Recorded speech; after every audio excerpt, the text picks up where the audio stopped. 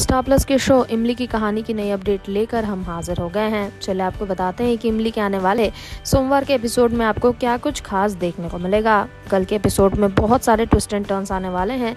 और अब तो कहानी में इमली, आर्यन को देखकर काफ़ी ज़्यादा परेशान है। आर्यन एक तरफ़ जहाँ इमली को बचा नहीं पा रहा है तो वहीं दूसरी ओर आर्यन को भी दुख हो रहा है और इमली तो परेशान हो ही रही है। इमली को भी करंट लग रहा है और ऐसे में इमली की ज़िंदगी एक बार फिर से खतरे में है। अब देखना ये मज़ेदार होगा कि कहानी के ट्रैक में और कौन सा ट्विस्ट हमें आगे देखने को मिलता है, जब इतना बड़ा ड्रामा होता है। जानने के लिए आप बने रहिए हमारे साथ, क्योंकि आगे जो भी होगा, हम आपको आगे ज़रूर बताएँगे।